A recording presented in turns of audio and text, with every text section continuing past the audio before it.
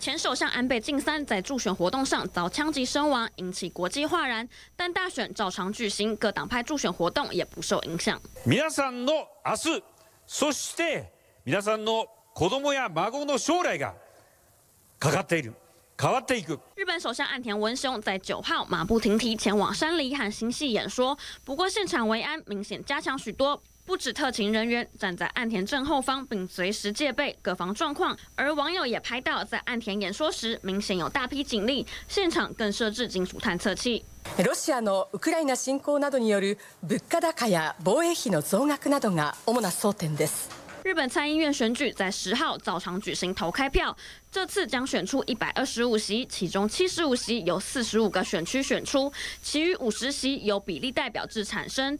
根据日本读卖新闻在一号到三号所做的民调，自民党有望赢得六十席，加上结盟的公民党，非常有机会取得过半数的席次。再加上安倍遭到枪击身亡，同情票应该会大增。而在这次选举之后，日本三年内没有表定选举，安田也应该有足够时间追求他理想的政治目标。包括首次修订和平宪法。そうですねあのある意味安倍総理のプレッシャーがなくなったということは言えるかと思うんですが一方で例えば憲法改正ですとか防衛費の増額といったテーマでは安倍元総理がある種こう突出した意見を言うことで強硬な保守派の支持というのをつなぎ止めてくれるそういう役割を果たしていたんです。不过自民党内派系林立，目前安倍派人数最多，拥有九十四位国会议员，占了全党的四分之一，和现任党魁也是首相的岸田相比，其实安倍的实际影响力更大。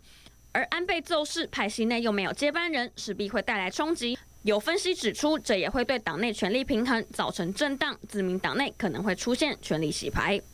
记者廖宇综合报道。旺旺水蒸呢，它是微酸性电解，次氯酸水跟病毒细菌作用之后呢，它是还原成水，所以不用太过于紧张，大人小孩都非常的适用。在这个非常时期，欢迎大家来上快点购，雾化器还有生成机都给它买起来。当然，哦在我的部分折扣码可以享有优惠啊。